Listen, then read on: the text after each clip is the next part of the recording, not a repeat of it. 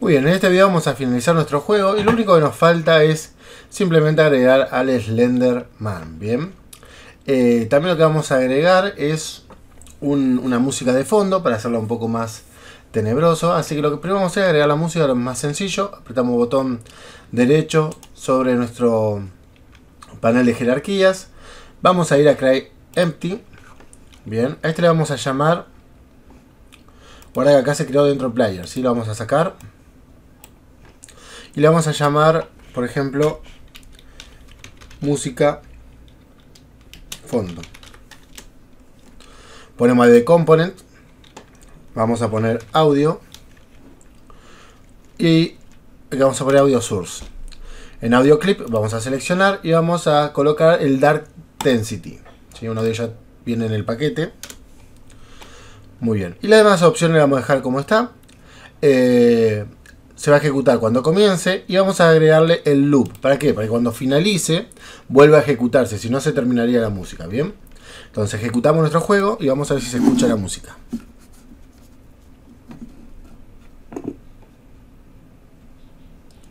Muy bien.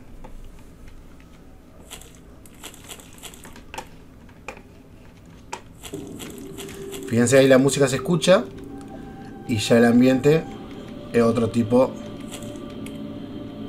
ambiente, ¿bien? Da mucho más miedo. Vamos a arreglar ahora el tema de la linterna porque se gasta muy rápido.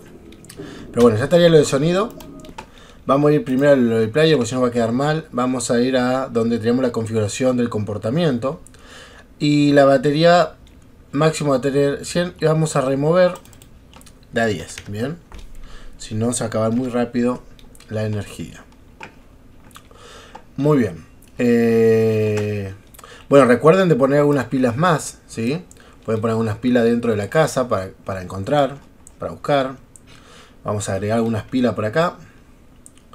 Para ello vamos a ir a buscar en prefabs la batería. Voy a dejar acá.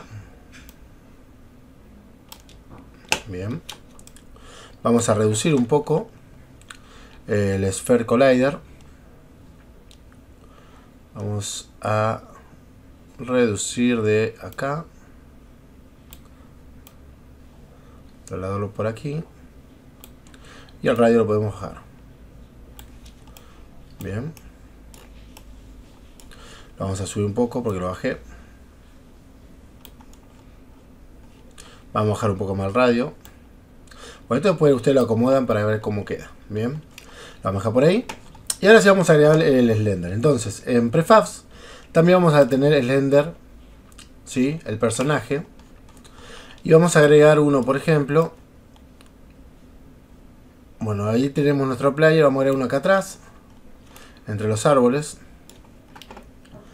Así lo vamos a colocar acá. Fíjense, ahí sale un Slender muy enano. Entonces, vamos a modificar su tamaño. Para ello vamos a colocarlo lo vamos a hacer más grande. ¿Sí? Lo vamos a girar, porque está medio girado el Slender. Por ahí. Y lo vamos a mover un poquito hacia arriba. Bien. Bueno, está bastante grande. Lo vamos a hacer un poquito más petizo.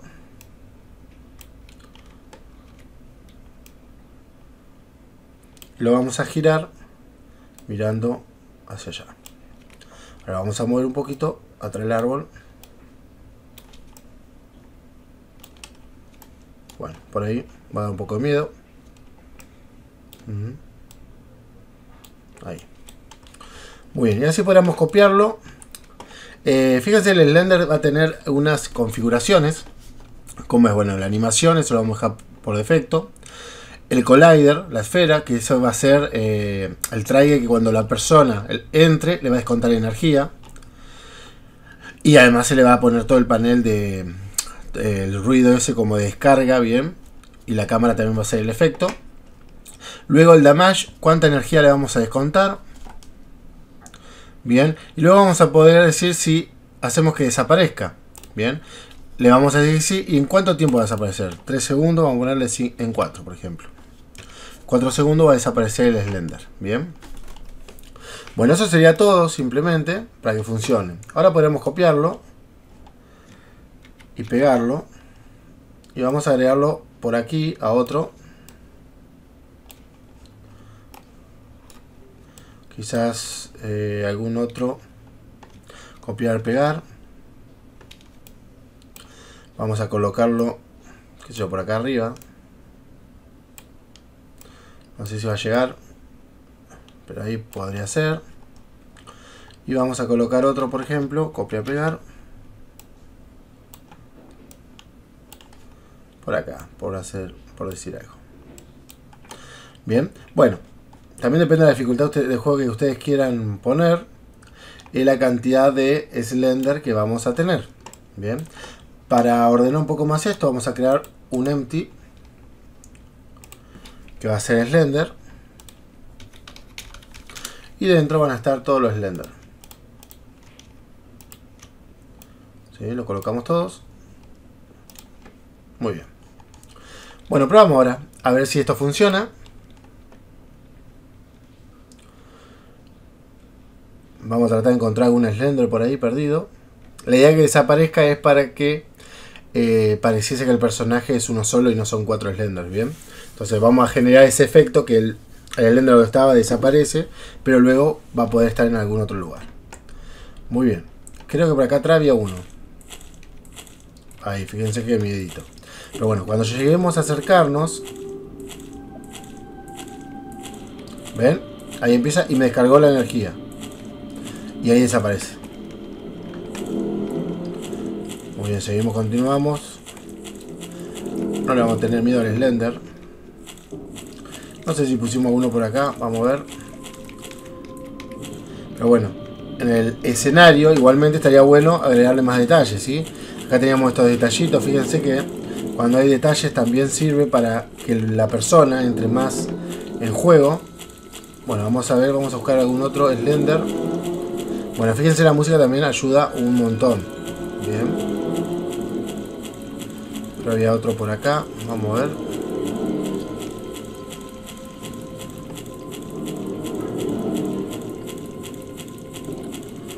Buscando al Slender, si le vemos diferentes casas. Muy bien.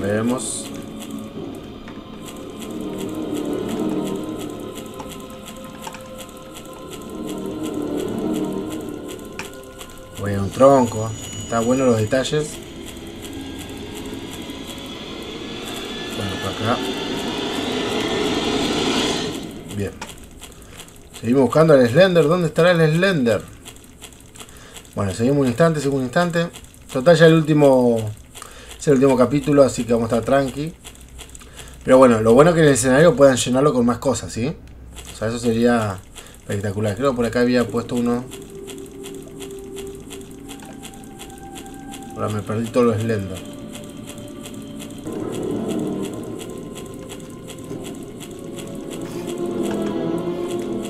Vamos a la hoja.